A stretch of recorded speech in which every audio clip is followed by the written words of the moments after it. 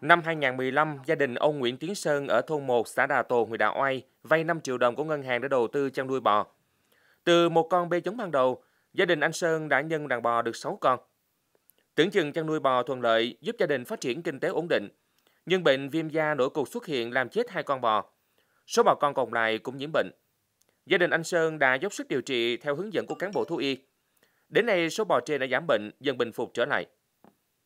Khi mà xảy ra dịch bệnh thì tôi cũng báo thú y huyện và xã vô để hướng dẫn và cách tiêm ngừa cái lây những con không bệnh ra, vệ sinh chuồng trại.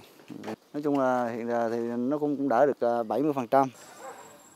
Ngày 2 tháng 8, ông Nguyễn Quang Tư ở thôn 1 xã Đà Tồn thấy xuất hiện triệu chứng lạ trên đàn bò 10 con của gia đình mình như viêm da, nổi cục, bò lại biến ăn. Ông Tư đã đến trình báo với thú y huyện và mua thuốc về chích cho số bò chưa nhiễm bệnh. Những con bị bệnh được chăm sóc cẩn thận, vệ sinh chuồng trại sạch sẽ, sát khuẩn thường xuyên, bổ sung thêm thức ăn giàu dinh dưỡng. Ngoài một con bò bị chết, đến nay còn 9 con bò của gia đình ông Tư đã dần dần bình phục. Được biết xã Đà Tôn là nơi xuất hiện bệnh viêm da nổi cục trên đàn bò đầu tiên của huyện Đạo Oai. Đàn trâu bò của địa phương này có gần 600 con thì có 153 con bò bị mắc bệnh, làm chết 10 con. Số gia súc còn lại đã được tiêm phòng dịch đầy đủ. Lần đầu tiên là nó phát bệnh thì không biết từ hồi giờ chưa có, có bệnh ở đây chạy ra ngoài miền tứ quay của huyện á. Hỏi thuốc là nó là à, ở bên à, rồi huyện nó nói là coi như bên à, bị viêm da cục.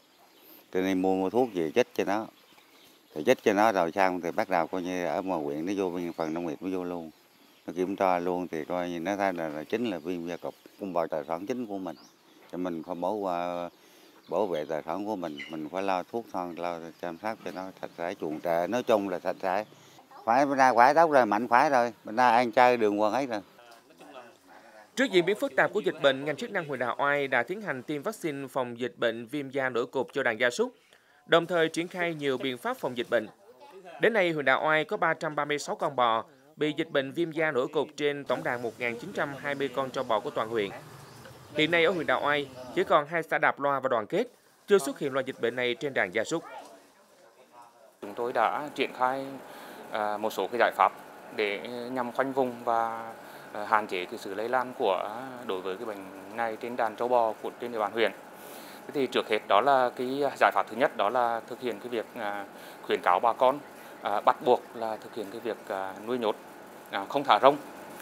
Thứ hai đó là phòng chống các cái loài côn trùng có thể làm cái tác nhân truyền nhiễm bệnh thứ ba nữa chúng tôi triển khai đồng bộ cái việc là um, phun xịt tiêu độc khử trùng uh, trên toàn bộ uh, đối với uh, các cái hồ chăn nuôi trên địa bàn huyện.